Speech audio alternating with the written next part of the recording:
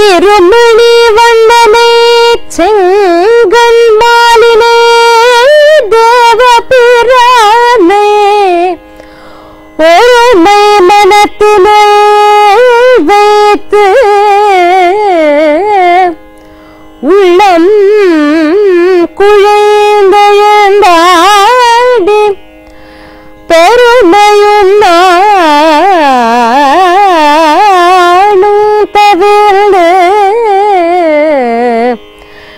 பெதற்றுமில் பேரமை தேர்ந்து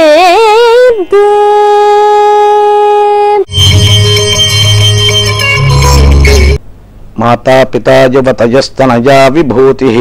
சர்வம் யதேவ நியமேன மதன்வஜானாம் ஆத்யஸ்ய நः कुलपतेर्वकुलाभिरामं श्रीमत्तदङ्घ्रयुगलं प्रणमामि मूर्ध्ना మూర్ధ్నా కరుమముం కరుమ ఫలునుమాగియ కారణం తన్నై திருமணி வண்ணனை செங்கன் மாலினை தேவபிரானை ஒருமை மனத்தினுள் வைத்து உள்ளங்குழுந்தெழுந்தாடி பெருமையும் நானும் தவிர்ந்து పిదత్తిమిన్ పేదమై తీరిందే ఈ యొక్క భాషరం నందు ఆ పరమాత్మ యొక్క స్వరూపాన్ని ప్రకటించి ఆ పరమాత్మను ఎలా మనం ధ్యానించాలి అన్నటువంటి విషయాన్ని కూడా సూక్ష్మంగా మనకు అద్భుతంగా తెలియజేశారు నమ్మాళ్ళవార్లు ఒకసారి ఆ యొక్క భావాన్ని మనం తెలుసుకుందాం. కరుమము. ఇక్కడ కరుమం అనగా మనకు తెలుసు కర్మ అని. ద్రావిడ భాషలో కరుమము. ఆ యొక్క పుణ్యపాపములతో కూడినటువంటి అంటే కరుమము అనగా ఏమిటి అంటే కర్మ అంటే ఒక కార్యము పని అని అర్థం. మనందరికీ తెలుసు. కర్మ అనగా ఏమిటి? ఏ ప్రతి పని కూడా కర్మ అని పిలువబడుతోందే శాస్త్రంలో అనగా ఇందు లౌకిక కర్మ లేక లౌకికేతరమైనటువంటి కర్మ పారమార్థికమైనటువంటి కర్మ అని రెండు విధములు. అందుకే ఈ కర్మల యొక్క ప్రతి కర్మకు కూడా ఒక ఫలం అన్నటువంటిది ఉంటుంది. సత్కర్మ అయినప్పుడు పుణ్యము దుష్కర్మ అయినప్పుడు పాపము అన్నటువంటి విషయాలు రెండూ కూడాను ఫలరూపములుగా ఉంటాయి. ఈ పుణ్యము అన్నటువంటి విశేషానికి సుఖము అన్నటువంటి పరమ ప్రయోజనం. దుష్కర్మ ద్వారా ప్రాప్తించినటువంటి పాప విశేషానికి దుఃఖము అన్నటువంటి ప్రయోజనం. ఈ విధంగా ఫలములు కర్మములపై ఆధారపడి ఉంటాయి. ఆ కర్మ పైన ఆధారపడి ఉన్నటువంటి ఫలాన్ని మనం ఎలా అనుభవించాలి? అసలు కర్మ అంటే ఏమిటి? ఆ కర్మకు ప్రయోజనం ఏమిటి? ఆ కర్మ ప్రయోజనాన్ని మనం పొందటానికి కారణం ఏమిటి? అన్నటువంటి మూడు విషయాలను సూక్ష్మంగా మనం తెలుసుకుందాం. సామాన్యంగా శాస్త్రంలో కర్మ అనగా వేదచోదితమైనటువంటిది అని పేరు. మనకు తెలుసు వేదము కర్మకాండ జ్ఞానకాండ అని రెండు విషయములను తెలుపుతుంది. ఇందు జ్ఞానకాండ అనగా ఉపనిషత్తులు అని పేరు వాటికి. కర్మకాండ అనగా వేదములో పరమాత్మ యొక్క స్వరూపాన్ని తెలుపుతూ సాయుజ్య ప్రాప్తికరమైనటువంటి ధర్మానుష్ఠానం. ఈ విధమైనటువంటి కర్మానుష్ఠానానికి ధర్మము అని పేరు. అటువంటి ధర్మము కర్మము. ధర్మమనగా కర్మమనియే. ఆ కర్మము రెండు రకములుగా తెలుపబడుతోంది. తత్కర్మ అతత్కర్మ అని. అతత్కర్మ అనగా స్వర్గప్రాప్తి పర్యంతమైనటువంటి ఫలితములను మాత్రమే ఇచ్చేటువంటి భగవద్ రూపమైనటువంటి యజ్ఞ అనుష్ఠాన రూపం. ఇక తత్కర్మ అనగా భగవద్ ఆరాధనం. యజ్ఞోవై విష్ణు అని తెలుపుతోంది వేదం. అటువంటి ఉపాస్య దైవమైనటువంటి ఆ పరమాత్మను మనము ఆరాధించటమే. ఇందు దీనికి తత్కర్మ అని పేరు. మరి ఇది ఎలా ఆరాధించాలి అన్నటువంటి సందేహం ఏర్పడుతుంది. ఇందుకు ఆగమశాస్త్రాదులు మనకు అద్భుతమైనటువంటి ఒక సూచి విశేషాలను అందించాయి. గృహారాధనం పరార్థారాధనం. దేవాలయంలో చేసేటువంటి పూజ పరార్థ పూజ అని పేరు. గృహంలో చేసేటువంటి ఆరాధనానికి స్వార్థము అని పేరు. ఈ విధమైనటువంటి రెండు ఆరాధనములు పరమ పురుషార్థ ప్రయోజనానికి కారణభూతుడైనటువంటి పరమపదనాథుడైనటువంటి శ్రీ మహావిష్ణువును శ్రీయహ్పతిని ఉద్దేశించి చేయటం అన్నటువంటిది అతి ముఖ్యమైనటువంటి కర్తవ్యం. అది స్వార్థమునందైనప్పటికీ పరార్థమునందైనప్పటికీ దేవాలయములో అయినప్పటికీ గృహములో అయినప్పటికీ రెండింటి ఎందు కూడా ఆ యొక్క శ్రేయఃపతిని అర్చించాలి అని శాస్త్రం మనకు ఉద్బోధిస్తుంది అలాంటి శ్రేయఃపతిని అర్చించడం ద్వారా మనకు కలిగేటువంటి ఫలం మోక్ష ప్రయోజనం మోక్ష ప్రయోజనం అన్నటువంటిది కలు ఏర్పడాలి అనగా అంతఃపూర్వం ఐహికమైనటువంటి విషయాలు కూడా సిద్ధించాలి కదా. కాబట్టి ఐహికమైనటువంటి కామ్యఫల విశేషములు కూడా మోక్షప్రాప్తి ఎందు మార్గగామిగా మధ్యలో మనకు సిద్ధిస్తాయి అంటోంది శాస్త్రం. అలాంటి కర్మ ద్వారా కర్మము అంటే ఇక్కడ ఏమిటి? కర్మ అంటే ఏమిటి? భగవత్ సమారాధనము అని చెప్పుకున్నాం. భగవంతుని అర్చించడం. అప్పటికి కర్మ ఎందు అర్చించబడువాడు అతడు ఆ సర్వేశ్వరుడు. అనగా ఆ కర్మను శరీరంగా కలిగి ఉన్నటువంటి వాడు. కర్మను శరీరంగా కలిగి ఉన్నటువంటి వాడు అప్పటికేమవుతాడు? కర్మ శరీరము అవుతుంది. అందరి అంతర్గతంగా ఉన్నటువంటి పరమాత్మ శరీరి అవుతాడు. కాబట్టి శరీర శరీరి సంబంధం అన్నటువంటిది మన వైష్ణవ సంప్రదాయంలో విశిష్టాద్వైత సంప్రదాయంలో అతి ముఖ్యమైనటువంటి విశేషం. ఆ శరీర శరీర సంబంధములో శరీరము కర్మ అయినప్పుడు అంతర్గతంగా శరీరి పరమాత్మ. కాబట్టి కర్మ వేరు కాదు పరమాత్మ వేరు కాదు. అటువంటి కరుమము అటువంటి కర్మస్వరూపి అయినటువంటి పరమాత్మ. కరుమ ఫలము ఆ కర్మకు మనం కర్మకు ఏమిటి ప్రయోజనము అని అనుకున్నాం. మనం పుణ్య కర్మకు పుణ్యం కలుగుతుంది. తద్వారా కలిగేటువంటి ఫలం స్వర్గం లేక సుఖం ఇత్యాదులు. ఇక దుష్కర్మ చేయటం వలన కలిగేటువంటిది పాపం. దాని వలన మరలా మరలా జననము నరకాదులు దుఃఖము ఇత్యాదులు. మరి ఈ జన్మం అన్నటువంటి విశేషం ఉన్నంత వరకు మరలా మరలా పుణ్యపాపములు అన్నటువంటివి ఏర్పడుతూనే కలుగుతూనే ఉంటాయి. మరి ఈ కర్మ బంధనమును మనము ఎప్పుడైతే తెంచుకుంటామో జీవుడు శరీర బంధమును పూర్ణముగా ఎప్పుడైతే ఆ వాసనా విశేషాన్ని విడిచిపెట్టి పరమాత్మ ఎందు అభిముఖుడై పరమాత్మ సాయుధ్యాన్ని పొందుతాడు అదే ప్రయోజనం. అప్పటికి మన యొక్క అనగా జీవుని యొక్క పరమమైనటువంటి ప్రయోజనం. పరమ లక్ష్యం ఏమిటి అంటే పరమాత్మ సాయుధ్య ప్రాప్తియే. కాబట్టి కర్మ ఫలము. కర్మ యొక్క ఫలం. మనందరికీ తెలుసు లోకములో కర్మ యొక్క ఫలం ఏ విధంగా ఉంటుంది? ధర్మ అర్థ కామ్య మోక్షములనేటువంటి నాలుగు విషయాలను పురుషార్థములు అని పిలువబడుతుంది అందు వేదప్రోక్తమైనటువంటిది ధర్మం. వేదము నిషేధించినటువంటిది అధర్మం. అలాగా నిషేధరూపమైనటువంటి దాన్ని ఆచరించకుండా విధిరూపమైనటువంటి వేదచోదితమైనటువంటి శాస్త్రానుపూర్విగా ఆ యొక్క కర్మను మనం ఆచరిస్తే ప్రయోజనం కలుగుతుంది. మరి ఆ ప్రయోజనం మనం పొందాలి అని అంటే అందు సరి అయినటువంటి విధానంలో కర్మను ఆచరించాలి. సరి అయినటువంటి విధానంలో ఆచరించాలి సరి అయినటువంటి మూర్తిని ఉపాసించాలి. అలాగా ఇక్కడ నమ్మాళ్వార్లు ముందుగా ప్రకటించి ఉన్నారు కలియు కలియుగమునందు కలవు వెంకటనాయక అన్నట్లుగా అర్చావతారం అన్నటువంటిది అతి ప్రధానమైనటువంటి అవతారం. ఇక్కడ అలాంటి అర్చావతార మూర్తిని అర్చించడం అన్నటువంటిది కర్మం. కలియుగమునందు అతి ముఖ్యమైనటువంటి ధర్మంగా మనకు ఇతపూర్వం పాశరములలో మనం అర్థం చేసుకోవచ్చు. అందుకే ఇత పూర్వం భాషణంలో ఆ యొక్క తిరువేంగడం అన్నటువంటి క్షేత్రంలో వెలసి ఉన్నటువంటి ఆ శ్రేయపతి అయినటువంటి శ్రీనివాసుని అర్చించడం అతని యొక్క అనేక నామములను కీర్తించడం ధ్యానించడం స్థుతించడం జీవుని యొక్క కర్తవ్యం అని చోదనం చేసి ఉన్నారు నమ్మాళ్ళవార్లు అర్చావతారం అనేటువంటిది అతి ముఖ్యమైనటువంటి అందరికీ సౌలభ్యమైనటువంటిది.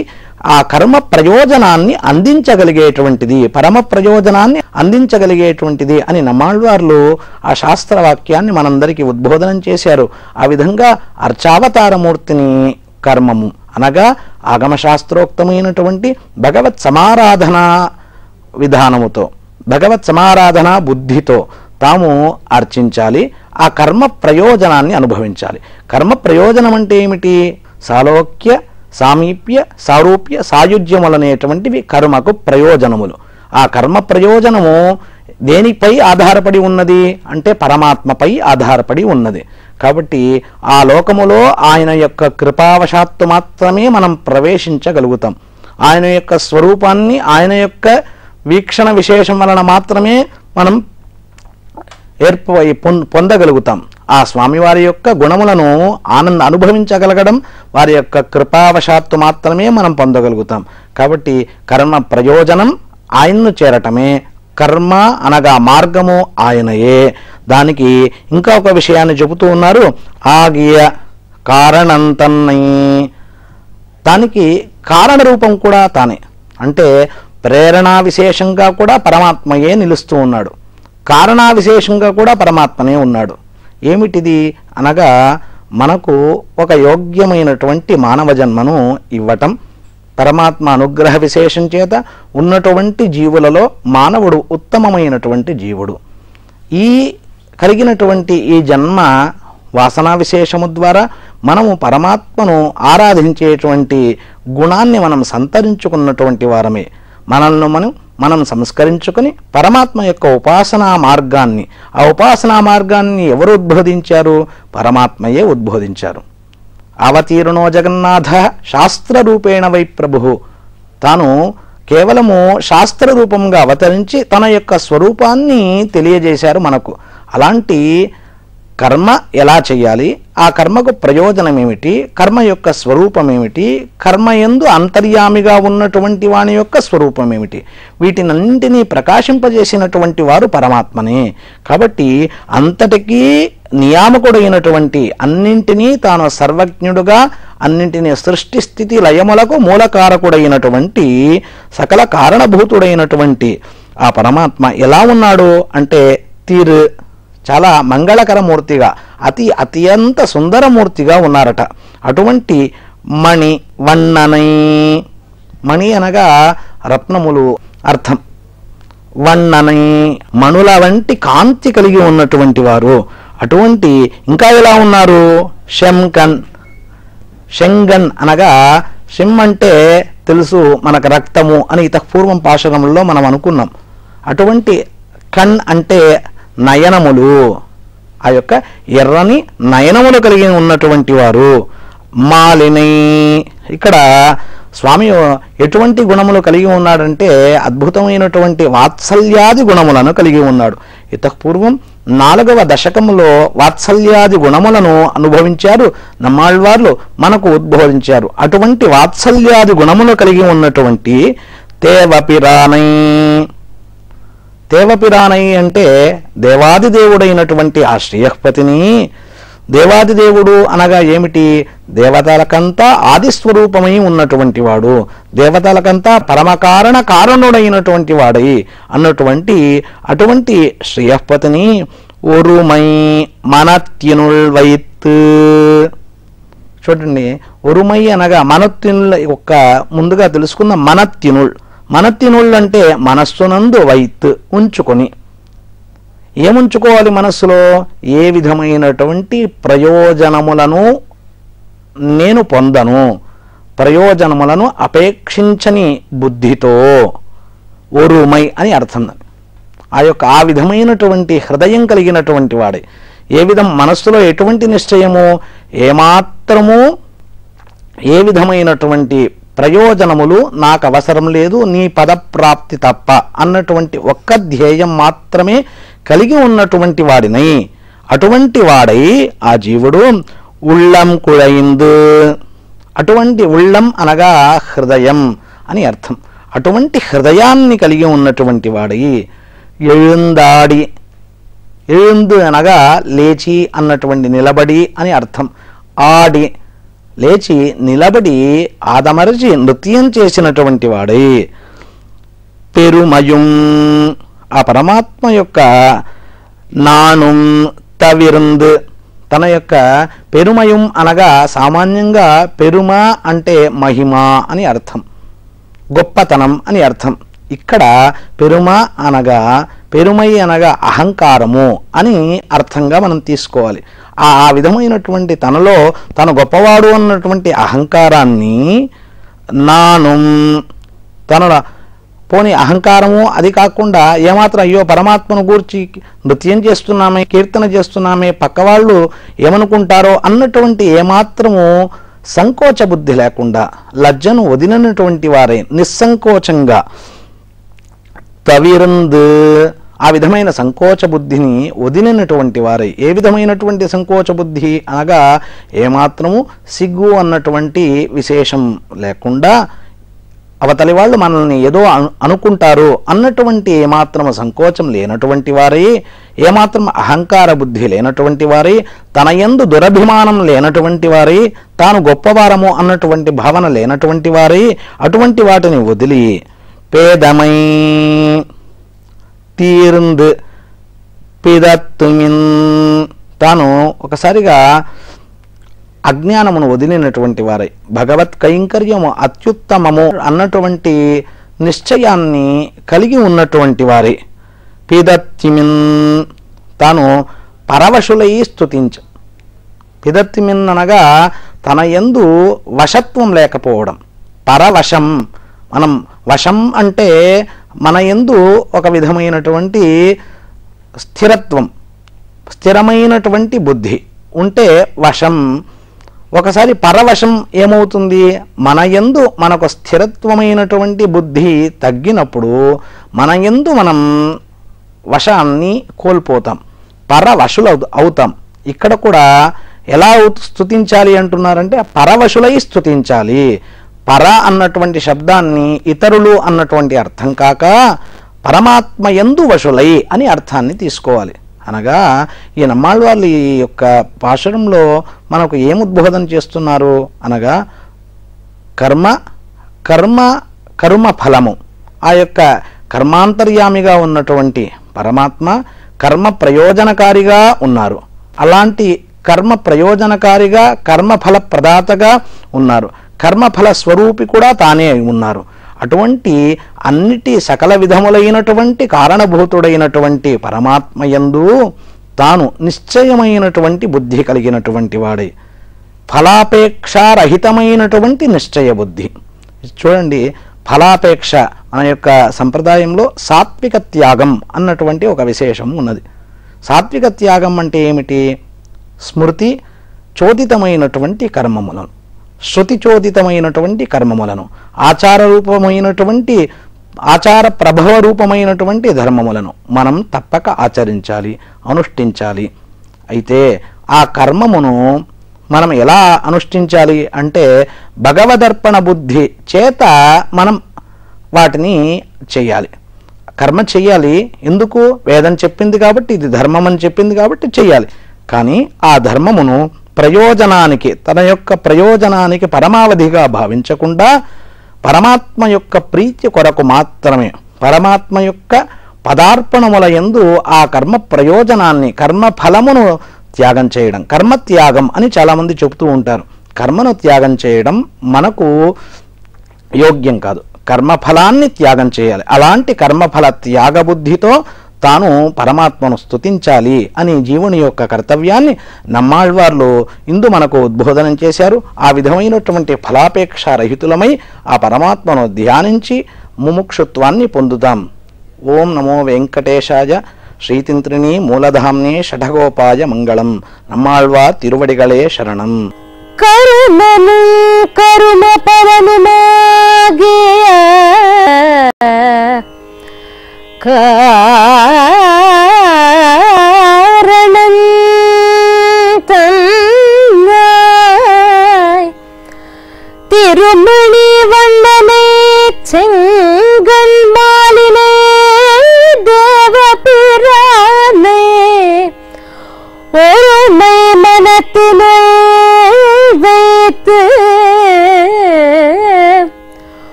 பிதற்றுமே பேரமை